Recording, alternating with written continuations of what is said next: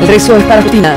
El pedido de corazón es para Justina y para 7.800 personas también que están esperando un órgano, pero ella tiene toda la atención porque está en emergencia nacional. Su salud se fue deteriorando paso a paso y este corazón tiene que llegar rápido. Ayer se hizo un abrazo en la Fundación Favaloro, ayer lo anunciamos aquí y lo importante es esta fuerza inmensa que está haciendo este grupo de personas y todo el país por ella. El mensaje, donar órganos, salva vidas. Se reunieron sus papá, mamá, amigos, compañeros y maestros. Se estrecharon manos para un abrazo que rodeó la puerta de entrada de la Fundación Favaloro, donde Justina espera desde hace tres meses un trasplante cardíaco.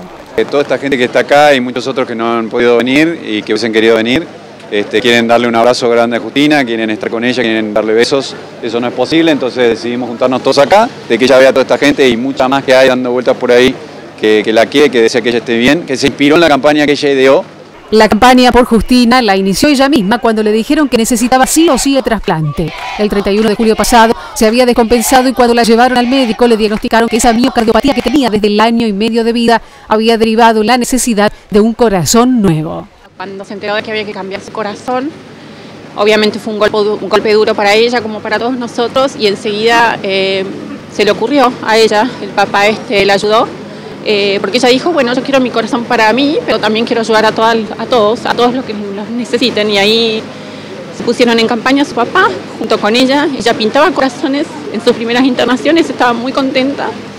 Lamentablemente el tiempo va pasando, su cuadro se agrava.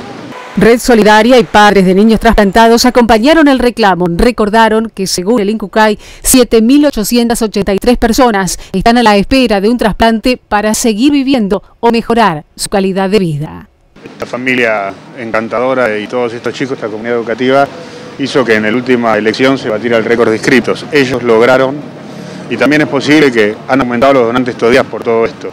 Celebramos que todo este movimiento generó muchos trasplantes pero ahora venimos por Justina, que está en emergencia nacional y sabemos que la solidaridad existe, pero eso queremos decirlo con mucho pudor. Tenemos una hija nuestra en emergencia.